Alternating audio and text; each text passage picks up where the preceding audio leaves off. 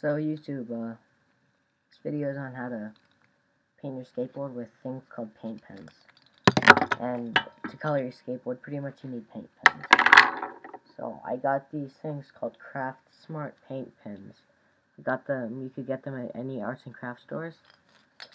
You just shake it up, and this was very confusing for me, because this is my board, I just made that design, but when you first get them, you have to punch them like a little, like, like, like you need to punch it really hard into the skateboard, because there's like this weird plastic thing, so you can't like draw it until you do that.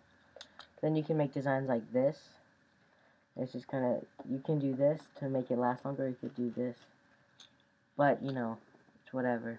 But, I make some designs. This is my last board. I had a Greek kills right there. And